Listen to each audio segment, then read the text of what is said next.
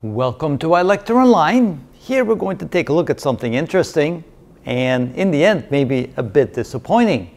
We're going to look at what we call the sum of the deviations from the mean. So what we're going to do is we're going to take the mean of a set of data. We're going to take a look at town B in this case where we calculated that the mean of all the house prices of the houses sold in 2018 was $200,000. So now we're going to sum up all the deviations, all the house prices from the mean. When we do that, we get an interesting result. So the way we would do that is we simply would sum up the differences between the house prices and the average house price. And of course, we put the house prices first, and then we put the average last, so that if the house price is less than the average, we get a negative result, a negative de deviation from the mean.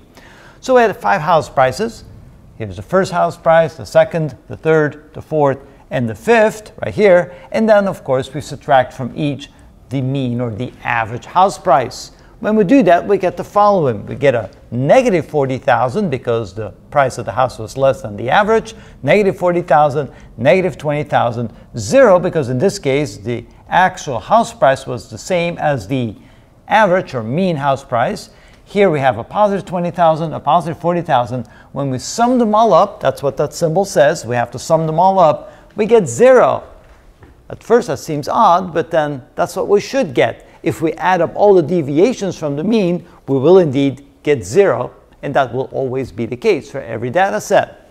Hmm, so why do we have that? Well, we actually don't use the sum of the deviations from the mean. What we do instead is we look for the absolute deviation from the mean and sum those up. So what we mean by the absolute is that we take the absolute value of that. So if we take the absolute value of this difference, we get a positive 40,000, not a negative 40,000.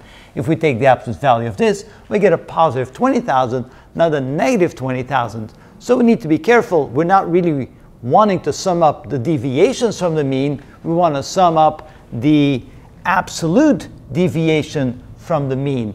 And then we get a meaningful, meaningful value. So let's do that on the next video.